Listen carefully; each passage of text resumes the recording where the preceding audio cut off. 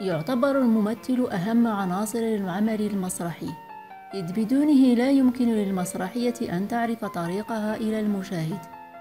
فهو وسيلة أساسية في يد المخرج لإظهار المعنى المقصود من النص المسرحي ولخلق التواصل بينه وبين المتلقي مما يحتم على المخرج السهر على إعداد العرض وإدارة الممثل. في الخطوة الأولى على المخرج اختيار الممثل المناسب لدور معين.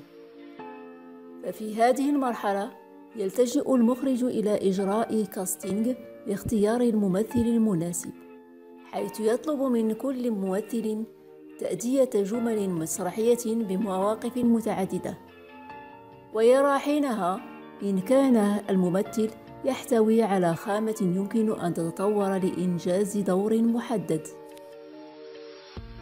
في الخطوة الثانية يتولى المخرج قيادة التدريبات لتدريب الممثلين على أساليب وقواعد كل من الأداء الصوتي والحركي وذلك من خلال إنجاز تمارين الإحماء والاسترخاء والتركيز وكذلك تمارين التنفس والصوت وتمارين لتحسين مخارج الحروف.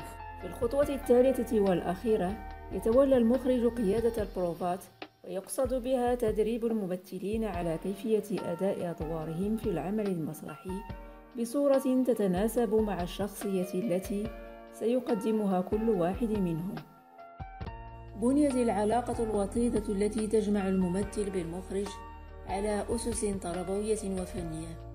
ففي الجانب التربوي يقوم المخرج بقيادة الفريق بكل حزم وصرامة لكي يعم الانضباط والاحترام بين الممثلين كما يزرع بينهم روح التعاون وحسن التعامل ويعزز الثقة بأنفسهم ويرفع معنوياتهم ويخفف من حدة توترهم خاصة مع اقتراب العرض.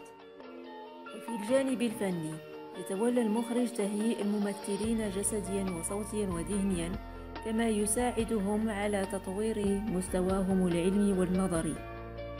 إن العمل التربوي والفني للممثل يعتبر من الركائز الأساسية لنجاح الممثل بصورة خاصة والعمل المسرحي بصورة عامة.